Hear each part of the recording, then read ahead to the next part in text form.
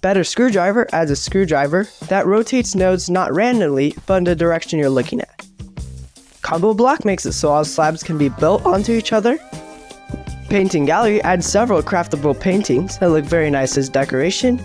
Or if you'd rather make the paintings yourself, I would try Painting 3, which is really cool. It allows you to make your own paintings and then place them wherever you like.